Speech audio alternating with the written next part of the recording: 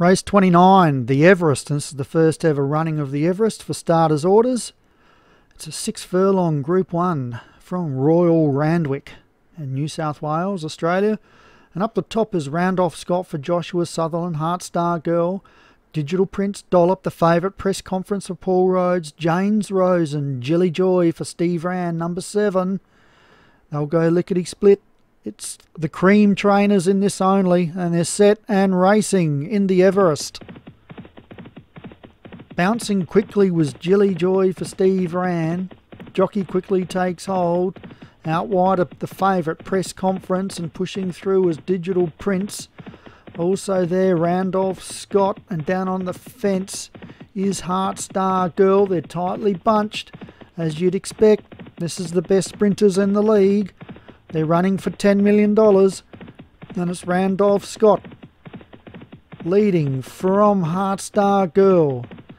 Out wider, Jilly Joy with press conference.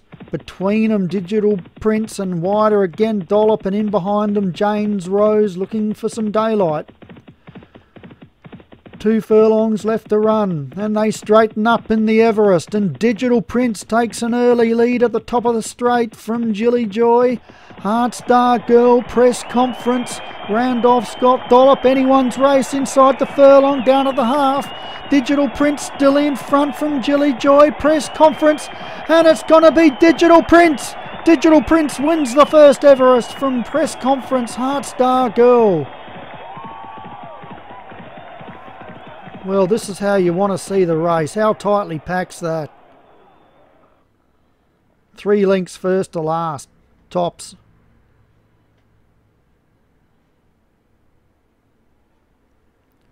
And Thunderspark gets up with Digital Prince. Congratulations, Thunderspark. You go into the SO6 history books.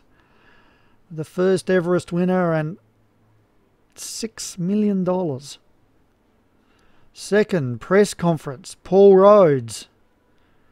Third, and the favourite, third was Heartstar Girl, Jim Murray, had the fence all the way. Fourth was Jilly Joy, Steve Ran. Fifth was Randolph Scott, Joshua Sutherland. Sixth was Darren Thompson, Stollop. And seventh was James Rose, Go Sapper. And both those horses missed the money, but not by much.